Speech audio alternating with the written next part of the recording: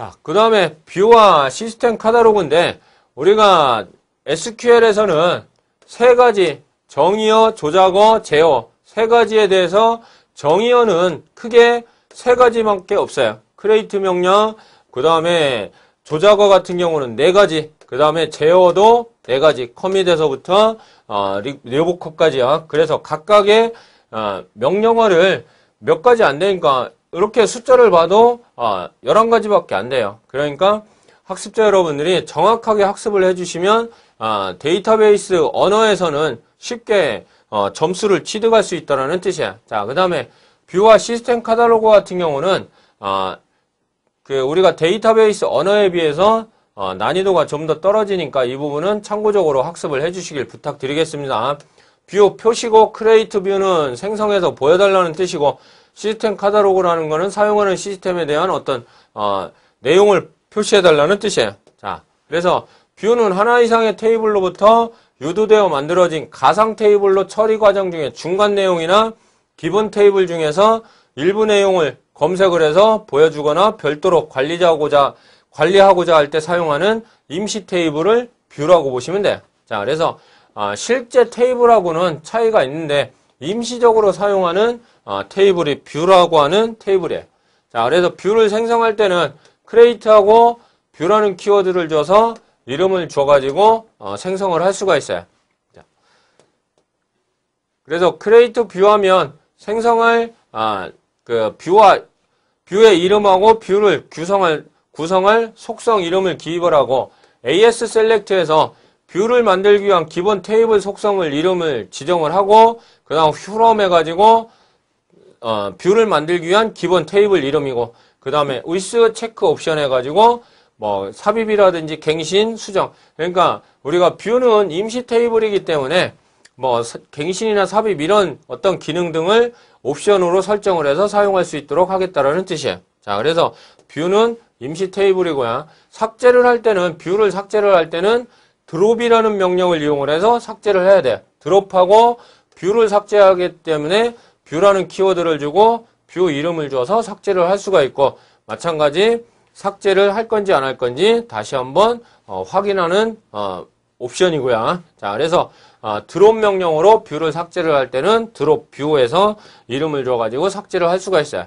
그 다음에 아, 여러분들 교재에 보시면 view의 특징이 나오는데 임시 테이블에 대한 특징이에요. 자, 그래서 view가 정의된 기본 테이블이 제거되면 view도 자동적으로 제거되기 때문에 기본 테이블을 제거를 했다면 view는 삭제를 안 해도 자동으로 삭제된다는 뜻이에요. 그 다음에 view에 대한 검색은 일반 테이블과 거의 동일한 방법이고요. 삽입이나 삭제 갱신은 제약이 따른다는 것. 자, 그래서 view의 속성에 기본 테이블에 기본 키가 포함되어 있지 않으면 삽입, 삭제, 갱신이 안 된다는 뜻이에요. 자, 그러니까 기본 테이블에 primary key가 설정이 되어 있지 않다면 임시 테이블에선 삽입, 삭제, 갱신을 할 수 없다는 뜻이에요. 자, 그 다음에 보안 측면에서 view를 활용할 수 있는데 아, 임시 테이블이기 때문에 보안은 좋을 수 있지만 여러 가지 제약이 있기 때문에 좀 불편한 방법이고요. 그 다음에 아, alter가 우리가 수정 명령이었었는데 view는 alter 명령으로 어, 변경을 할 수 없다는 거에 유념을 해주셔야 되고요. 그 다음에 한번 정의된 view는 변경할 수 없어요. 그러니까 alter 명령 같은 경우는 횟수에 관계없이 변경을 할 수가 있는데 아, view, view라는 특징은 아, 한번 변경을 했으면 아, 또다시 변경을 못한다는 뜻이야. 그 다음에 삭제를 한 후에 다시 생성을 해서 변경을 해야 되고요. 자, 그래서 view에 대한 특징에 대해서 같이 알아봤고요.